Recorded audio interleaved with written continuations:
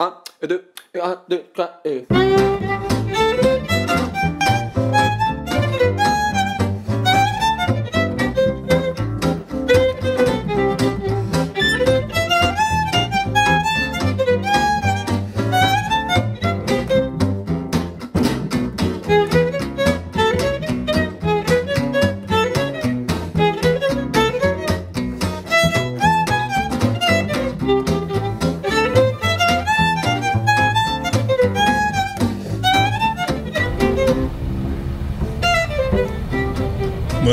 Are going out to Rich's.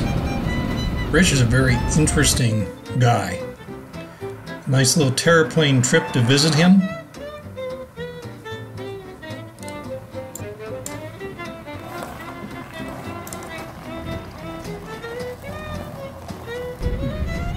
Here we are coming down the road to his house now. He lives out in a very quiet place. There's our terraplane parked and we're going to look around at some of the neat things that Rich has on the property. Now, Rich is the type of guy who could restore things so that they're absolutely perfect and beautiful, but he's also the type of guy that often just makes the things work and have the patina of their age still on them. We're kind of out front of his shop here, looking around. Right here, we have two very interesting vehicle projects that Rich has.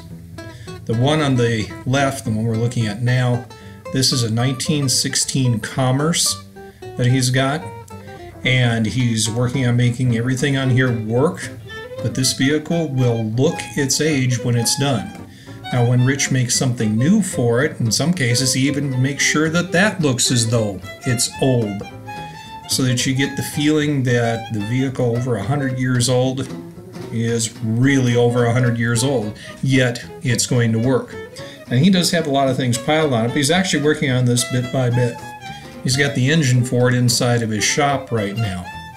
Now, Rich is the type of guy that also restores, for example, boring bars. And his boring bars are absolutely perfect. Before I tell you more about that, this is a 1923 Reo that he picked up out of California. Another one of his projects. You can see right there, it's got a really safe gas tank right above the dash. Most interesting how things were done in the past. He's basically got a mostly complete truck here. He even found a radiator from one of the people in the local car club that actually is not quotes correct, but it's so close as a real radiator that it'll actually work on the vehicle. This is his sort of lean-to on the side of his workshop where he keeps these outside. He has one of the quietest neighborhoods you've ever been to. You might occasionally hear an airplane. Now you can see the fan just twisting in the wind the day we were there. Now, Rich has a bunch of other things on the property. Sometimes they're his, sometimes they belong to his friend Pat. There on the left is a 1929 tank truck that Rich tells me was the first tank truck that belonged to the Salt River Project, I believe it is. And it's pretty much complete, although somewhat apart.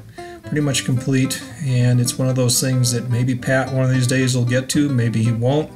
He's kind of got stuff stored all over the county, and he's another guy like um, Rich from the standpoint that they can do super quality work, but they also most of the time make things look old and still run beautifully and operate beautifully, but still show the patina of age. And so if Pat gets to this one of these days, I suspect it'll largely look like this as far as a finish, but he'll fix it up so it actually runs and works beautifully. And as you see, it's it's largely got everything there from back in the day when it was working. And you notice how tanks are so different from what we're used to today. A completely different way of thinking about it, in many ways, somewhat more interesting. And you can kind of see the animals have been here putting in the pine cones, etc. But as I told you, it's quite a nice little neighborhood, very quiet, nice place to go. And you see Rich, he collects all kinds of stuff. He's one of these guys that's got everything from hit and miss motors to old trucks to old machinery all around the yard. And you know, will he ever use all of it? Don't know. Maybe he will, maybe he won't. But he's the type of guy that picks it up when he gets the chance, which has resulted in him having quite a number of interesting items. all the way up to big welders he's got, multiple engine blocks. And then when the, the engine blocks, they're often very old trucks, etc., that he's got available. Now, he doesn't really spend his time selling the stuff, he spends his days working on little projects that he's got in mind with many of these items. This little hit and miss engine lets you know your riches out front. Now we're going to head on back to Prescott.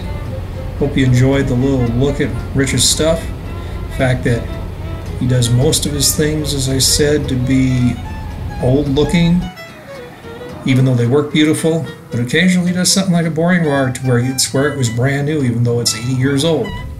And he can do that level of work.